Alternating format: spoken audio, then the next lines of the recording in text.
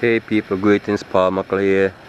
Today, December 9, 2011 at 4.25 p.m. Eastern Time. Okay, now people, I've seen it now. People never, in all my time I've lived here, four years now, and even before that, I've never seen the moon this far to the northeast. Okay, let's talk about since I live here. I've been living here since 2006, right? Five years. Wow. I never have I ever ever seen the moon this far. The furthest moon ever go full is right here. Okay. When the moon have been full, right? This is the part it, have gone. At a three quarter, yeah, yes, but never it have never been full at that spot. Anyway, people, there's gonna be a super moon eclipse tomorrow morning around 4 o'clock Eastern time in the morning. I'm gonna try to capture it. It's gonna be in the west. So hopefully I could get up to go get it.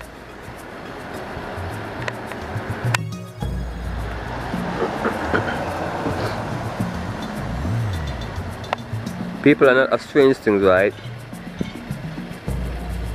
March, April, May, June, July, right? I think up to July, right?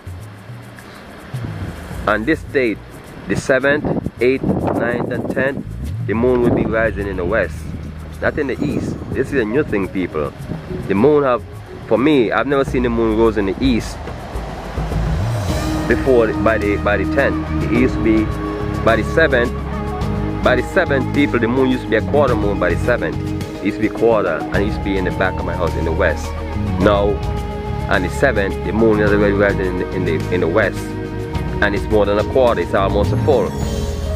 So you see people that's how you know that's that's what the people proof that the moon has sped up its, uh, its, uh, its cycle. That's proof no one can deny.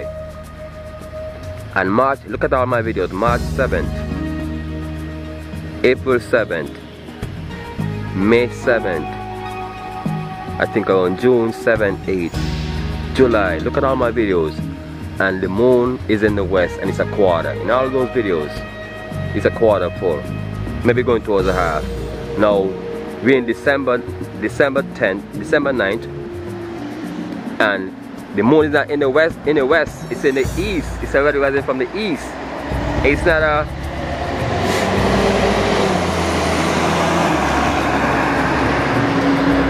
the moon this is December 10th and the moon is already rising in the east but it's not a it's not a quarter moon it's a full moon. So you see people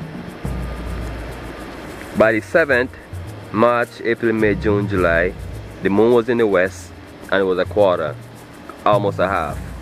Now today the 9th the moon is in the west I mean in the east and it's a full moon so if y'all want to go and tell me I'm fools because I say the moon sped up its cycle y'all are the fools to let the scientists lie to you all.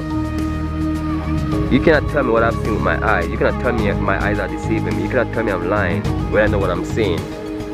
Those who think I'm lying are the freaking fools and give my video a thumbs down because I tell the truth. You're also idiotic and petty.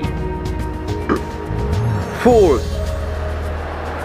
March 7th, April 7th, May 7th, June 7th, July 7th, the moon was rising in the west and it was just above a half a moon. I mean just above a quarter moon. Okay now we're in December 9th and the moon is rising in the east and it's already a full moon. What does that say the moon has up its cycle you're fools you're idiots that, that like to around and, and lie to the people about freaking wing planet. Fools, all the freaking planets look like they have wings. The guy's not a wing, it's a force field around them. I hear people talk about, oh, wing planet is coming, trying to scare people. And when other people show stuff, they want to talk shit like they know because they know they're part of the NASA thing, lying to people. Yeah, there are a lot of plants out there, but all the plants have wings, all of them. And that wing planet that y'all call Nibiru, you know what it is? It's Mercury.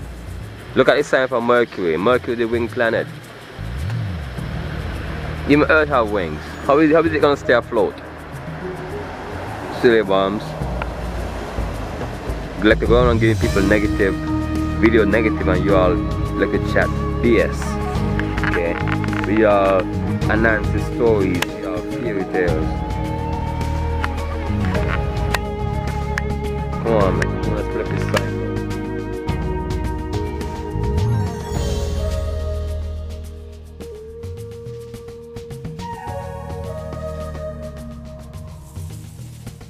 Thank